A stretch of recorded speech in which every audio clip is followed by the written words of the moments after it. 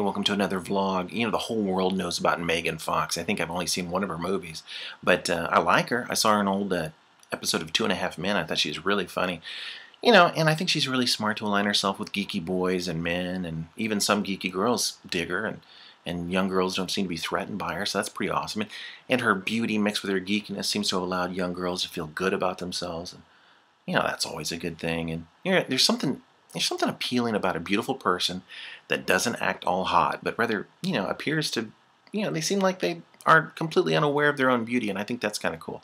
And if a pretty person has a so-called defect like a club foot or one eye or stubby arms, baldness, webbed toes, extra nipples, um, you know, like second, maybe the second toe is longer than the big toe, you know, it seems to make them, you know, more interesting somehow freakish, but you know, still very lovable in a lot of ways. Anyway, much has been made about Megan Fox's big thumb. I know it's no surprise, right? You've heard about her. She has this giant, you know, nasty looking thumb, and it's it's really like having a big toe grafted onto your hand by Frankenstein. I mean, I think it's called brachydactyly or something like that. I think that's the medical term. It's like having a club foot, but it's a club thumb, and uh, it's like the heroine and even cowgirls get the blues. You know, it's like having a giant eight-inch thumb. It's like that rubber thumb that secretaries sometimes put on their fingers when they're flipping through papers. Uh, it's like a thumb condom. But anyway, this is her natural nasty thumb. Anyway, the Super Bowl ad comes out, right? It's, got, it's about Motorola, and Megan Fox is all nude in the tub, and she's using the phone, and then suddenly, out of nowhere, it's a stunt thumb. Obviously not hers. You know, they found a pretty thumb model. You know, she was hired. They went to a thumb model agency, you know, obviously a supermodel. You know, just her thumb is the supermodel, I suppose. Uh, she's probably hideous. You know, she's probably a, a butterfinger. Everything's, well, no, that wouldn't be right. Her, she's probably a butter body. It's only her thumb is beautiful. And they hired her. Uh, and, uh, you know, anyway, they, we see this ad, and the internet goes crazy because we all know Megan Fox has a big, nasty toe thumb.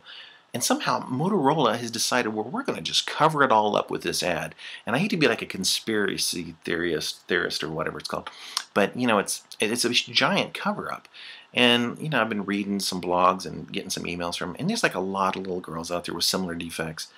You know, and they've, you know, they're crying. They, you know, they feel betrayed, and it's sad, really. And um, anyway, forget all that. I, I, hope you check out my podcast. Hope you subscribe. Hope you comment. And like many of the listeners of the show, you know, feel free to send me gifts. I mean, this is pretty awesome.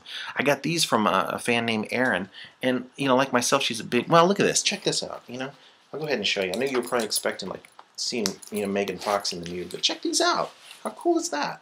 Is that awesome or what? You know, and thanks to uh, dieting for um, you know the last three months, I can actually fit into Batman underoos. So, you know, feel free to send me gifts. It's awesome. I really appreciate it. Don't forget, check out the podcast. See you on the next one. Adios. Add Jerry as a Facebook friend.